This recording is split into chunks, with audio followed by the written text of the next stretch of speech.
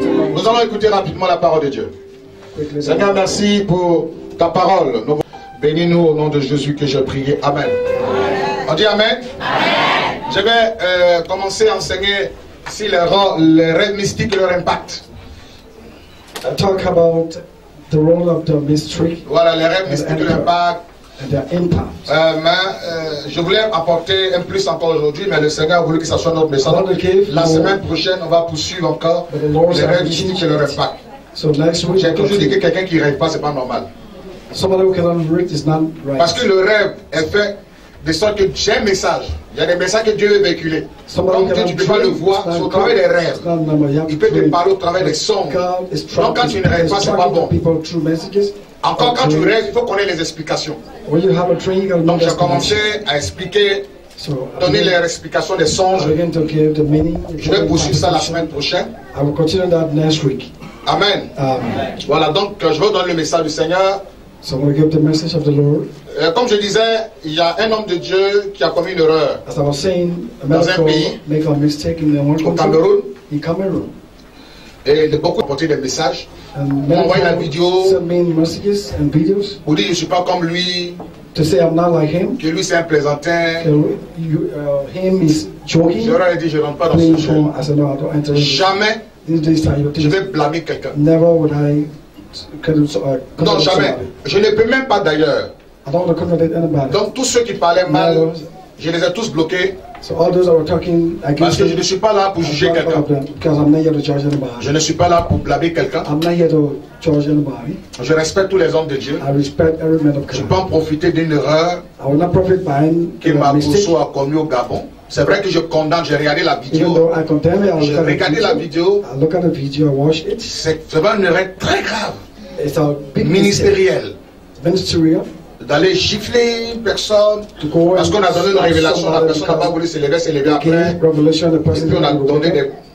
Il y a eu la suite de la vidéo où il a prié, mais les gens retenaient cette petite partie-là, qui était une erreur très grave. Donc, je donne aussi des conseils aux gens. Dans le ministère, il y a des erreurs qu'il ne faut pas commettre. Parce que ça peut te poursuivre. Ça peut jeter un discrédit tout à tout certain ministère de ta vie.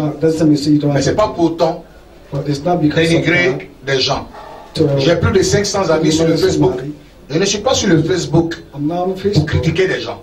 Je suis sur Facebook on pour communiquer si un sujet, dénoncer la pratique de la sorcellerie, amener des gens à aimer les prochains.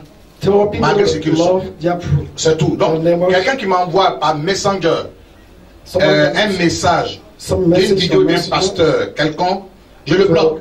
On n'est plus amis. Que si tu es ami avec moi, on doit avoir de la même manière. Voilà, donc, et les gens ont profité pour rencontrer beaucoup de choses.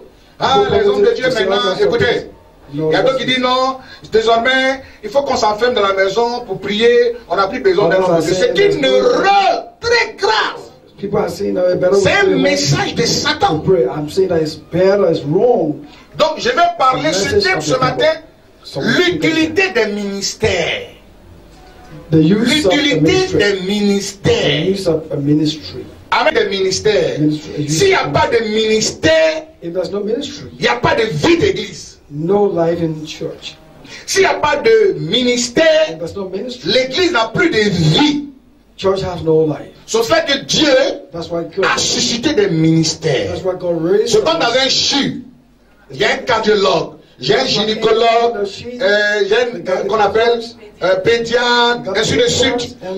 Ils so sont tous utiles dans le used. Et le ministère est utile pour le corps du Christ. Donc s'il n'y a pas de ministère, il n'y a pas de vie de Christ. C'est cela que in the life of un fidèle, il ne doit pas se dire non, je vais prier, ça suffit. C'est pas possible. That's why a member cannot just say. C'est "I pas have to pray." possible. No, it's not possible. Non, c'est même pas possible. It's Vous not avez dit que non, possible. euh, je n'ai plus besoin d'un homme de Dieu, je vais arrêter. I Mais, vous commettez une erreur très I grave. would say home. No, it's a big mistake. Parce que pour te faire délivrer, Dieu va utiliser quelqu'un.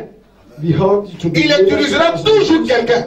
He will use somebody at all. On a toujours besoin de quelqu'un pour avancer. At all costs, we need somebody to be. C'est around. ça que Dieu a suscité le ministère. That's why God Si toi tu n'as plus besoin de quelqu'un pour prier pour toi, c'est que tu mets la parole de Dieu en doute. That means you Ce que tu dis à Jésus, c'est pas bon que tu crées des ministères. Or, quand nous lisons la parole de Dieu, prenez la parole de Dieu.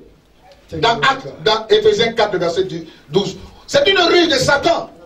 It's the reign of the Il dit, ah non, non, il n'a pas besoin d'un homme de Dieu. Toi-même, toi-même, tu peux prier pour toi. C'est faux. Tu peux pas. Il y a des situations, tu peux prier. Il y a des situations, tu n'as forcément besoin d'une intervention d'un homme de Dieu. There are situations that yourself can pray, but there are situations that need of people of God. C'est comme moi. Like me. Je peux dire, ah non, je me suffis. Non. I can say, no, I'm okay. Moi, sans le groupe d'intercession de l'église, je ne suis rien. Malgré l'onction des prophètes sur ma vie, il y a des gens qui prient pour moi nuit et jour dans cette église pour que Dieu m'utilise davantage. Sans que je ne suis rien. On a toujours besoin de quelqu'un. On a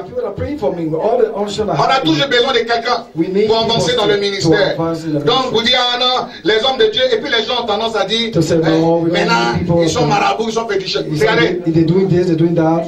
Dieu n'est pas vos, vos histoires drôles. God is not in that kind of history. Ne prenez pas le rang d'une personne Don't take jeter des crédits sur toute to l'église. Dieu n'a pas fait que des marabouts, Dieu n'a pas que fait des féticheurs. God never make a Il y a des ministères. make a marabout Et Dieu a suscité des ministères God raised a pour aider le corps de Christ. Donc le- les ministères sont utiles. So the ministry are useful. Si, si toi-même tu dois prier pour toi, If you want to pray for yourself, parce qu'il y a des situations, and situations, il faut forcément voir un spécialiste pour intervenir. Sinon, ça ne pourra jamais se régler. Or else it will never On a vu le grand Moïse qui parlait avec Dieu. Il a vu même Dieu dans les moments difficiles. Il a eu eu et Aaron qui l'ont soutenu. Toi has qui? Vous dites que non, tu n'as pas besoin d'un homme de Dieu. Tu peux t'enfermer dans la maison, pour lire la. Bible, prier pour toi-même. Tu connais les démons. Il y a des catégories de démons, toi tu ne peux pas chasser. Il y a des catégories de démons que vous ne pouvez pas chasser. Vous ne pouvez pas chasser. On a toujours yourself. besoin des gens. Jésus dit- Jésus même a dit, il dit déliez-le. il ressuscite Lazare, il dit déliez-le. Donc, il y a, il y a la responsabilité, il y a la part de Dieu et la part des hommes que nous sommes. Dieu prend le temps de nous sauver et Dieu suscite les ministères pour régler la- les choses dans la vie des croyants. Donc les ministères sont utiles encore de nos jours. Nous prenons Ephésiens le chapitre 4, Let us le verset 8 à to 12. Ephesians chapter 4. Éphésiens le chapitre 4, le verset 8 à 12. Éphésiens. Chapitre parole de 4, Dieu. verset 8 à 12. C'est pourquoi il est dit, étant monté en haut, il a emmené des captifs et il a fait des dons aux hommes. Or, que signifie il est monté, sinon qu'il est aussi descendu dans les régions inférieures de la terre Celui qui est descendu, c'est le même qui est monté au-dessus de tous les cieux, afin de remplir toutes choses. Et il a donné les uns comme apôtres, Il a donné les uns comme apôtres. Quand il est parti, n'est-ce pas, il va répandre le service sur la terre. Les uns comme apôtres, les autres comme prophètes, les autres comme prophètes, les autres comme évangélistes, les autres comme évangélistes. les autres comme pasteurs et docteurs, Très bien. pour le perfectionnement des saints, en vue de l'œuvre du ministère et de l'édification du corps de Christ. Amen. Pour l'édification du corps de Christ. Vous voyez, quand Jésus-Christ est parti, il a réglé toutes choses, il part, il va répandre sur la terre When les Jesus différents ministères. On the different Et quand vous lisez dans, dans Éphésiens, effectivement, on commence d'abord par le ministère d'apôtre. Un apôtre, c'est qui? C'est un bâtisseur. C'est quelqu'un qui a la capacité, c'est un missionnaire qui a la capacité d'aller créer une started with église. the apostle. The who is an apostle? Lui, il manifeste tous les dons. Somebody that is already Mais en même temps, il crée des églises. C'est un bâtisseur. All right, he's the one that builds. Amen. Comme Jésus-Christ ne peut plus venir, Come Jesus Christ il reviendra bientôt prendre l'église. Mais sur la terre, comme l'église est là, pour fonctionner, il va donner aux gens des ministères. Ministère d'apôtre, qui veut dire missionnaire, quelqu'un qui bâtit. Il va donner à l'autre le ministère de prophète. Le prophète était un voyant. Voilà, quelqu'un qui était un voyant. Il va donner à un autre le ministère d'évangéliste. Qui a la capacité de rassembler des gens. Il parle deux mots seulement, tu te convertis. People. Il, donne aussi un ministère des pasteurs. Some are pastors La capacité d'entretenir le peuple de Dieu. to Ici, on met dans ça veut dire enseignant. Le- qui ont la capacité d'enseigner euh, la doctrine de l'Église. the doctrine of Donc, the church. Christ, Christ. étant lui-même souverain, puissant, As- as mais air. il va répandre powerful, but he will come down again. son onction sur certaines personnes pour leur amener à exercer des ministères. dire, anointed on a to besoin d'un apôtre, Because on a aussi besoin d'un prophète, on a aussi besoin d'un pasteur, pastor. on a besoin d'un docteur, doctor. on a besoin d'un évangéliste. Donc si tu t'es dit chrétien to, to et que tu n'as plus besoin de ces personnes, tu commets une erreur. Amen. Je vous dis en un mot, l'église, les ministères sont utiles. La Bible dit pour l'édification du corps de Christ. Pour que le corps de Christ soit édifié. Pour que le corps de Christ soit parfait, il faut ces ministères. On ne dira pas non, on n'a pas besoin de telle personne, on n'a pas besoin de telle personne. Celui qui vous dit ça, c'est un message d'antichrist. C'est un message qui n'est pas, qui est diabolique. Qui est carrément diabolique. Faut pas dire qu'il n'y a pas besoin d'un homme de Dieu. Don't Tu say, mens. I don't need a man of Toi, t'es qui? You lie. Who are you? Toi, t'es qui? You are who? Pour dire qu'il n'y a pas besoin d'un homme de Dieu pour prier pour moi. Toi, t'es qui Il y a des démons, je vous dis la vérité, il y a des catégories de démons qui font une forte onction pour dé- délivrer.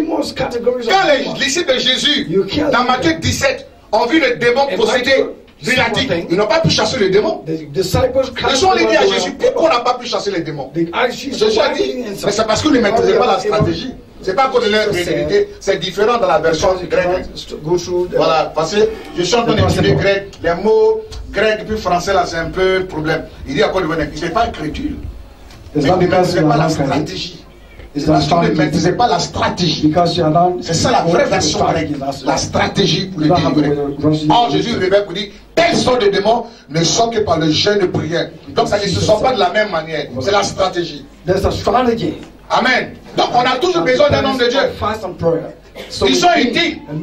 Ils are used. Vous n'êtes pas appelés, vous êtes des fidèles. You are. You Oui, are not des fidèles.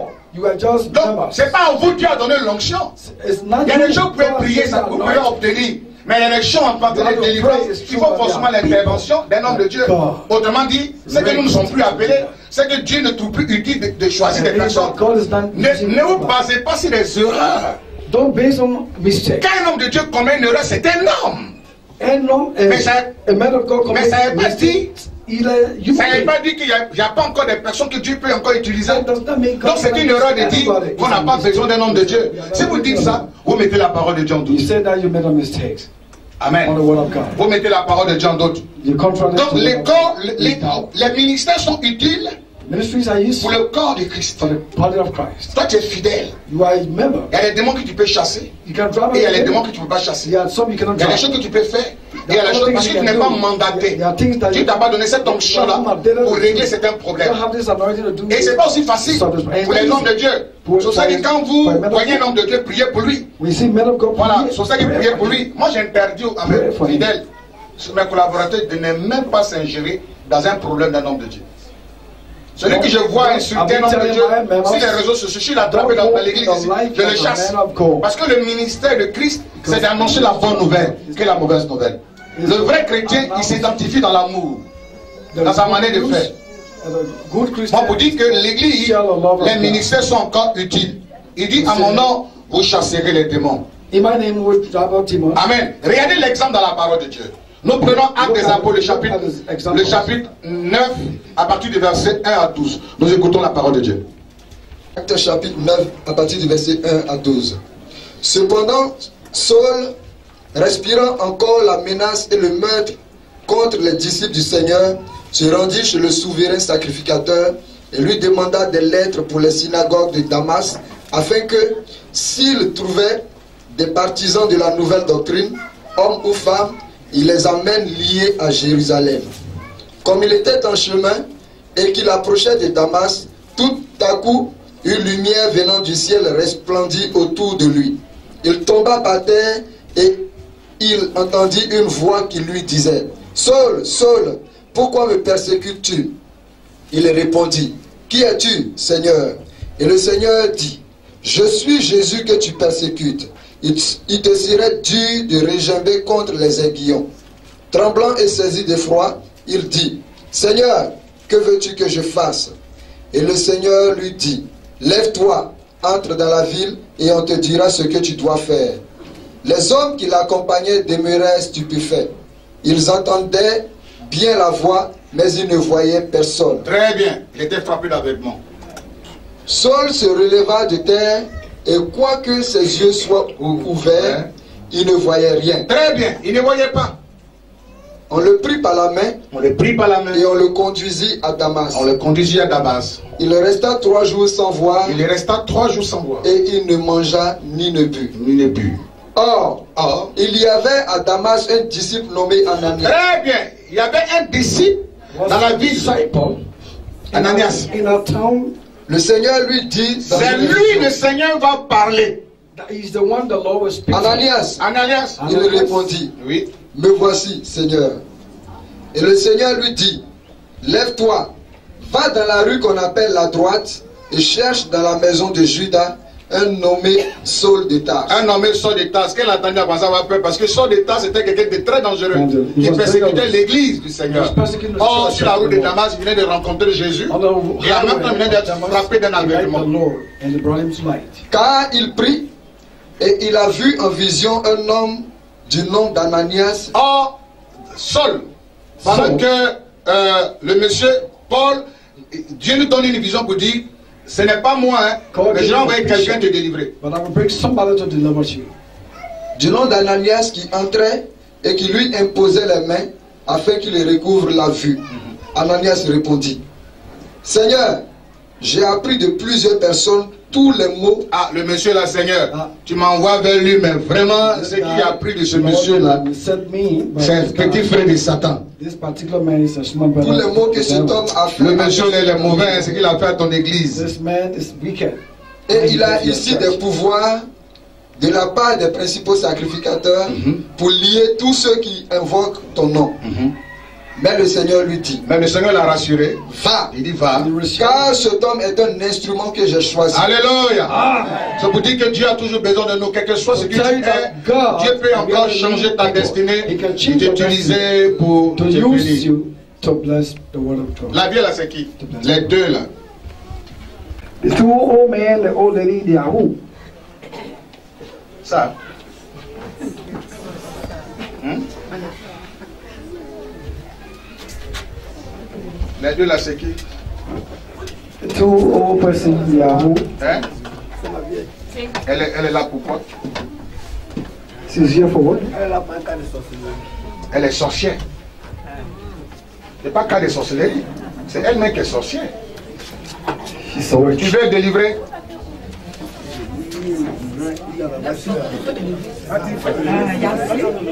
Je vois sa tête est comme chat. Je vois depuis sa tête comme chat. Je vois ta- sa tête comme chat. Eh bien, il faut quoi là? Toi, tu es sorcier, tu fous quoi là?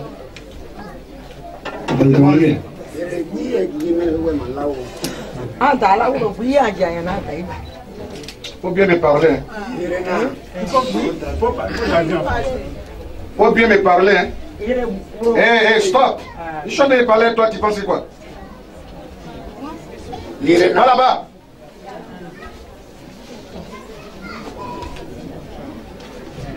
Assieds-toi là-bas. carinha assim. Qu'est-ce qu'elle dit? Viens ça là-bas. Depuis là, sa tête se transforme en chat. Depuis... Pourquoi vous venez ici là? On va vous délivrer? You come in here, speak us, so can. Tu veux quoi Elle dit quoi Ah, mais je t'ai dit de partir. Ah, je t'ai dit, il faut partir. Je ne veux pas parler. Ah, tu ne vas pas. Pourquoi tu ne vas pas Ah, Elle dit de la délivrer. To be delivered. C'est maintenant que tu veux délivrer. So now you want to be delivered.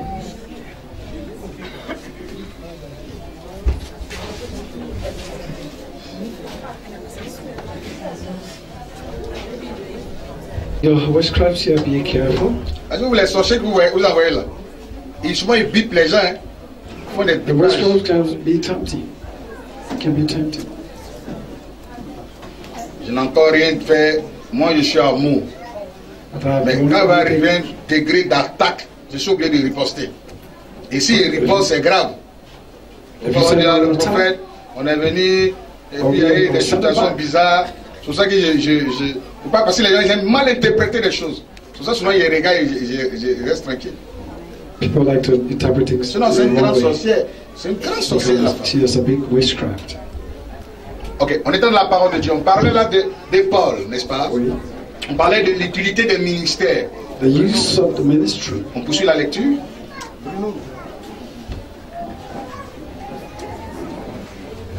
Au verset 15, mais le Seigneur lui dit, va, car cet homme est un instrument que j'ai choisi Ananias avait peur parce que il savait déjà qui était Paul, il avait peur. He knew who this who was Paul, he was afraid pour porter mon nom devant les nations, devant les rois et devant les fils d'Israël.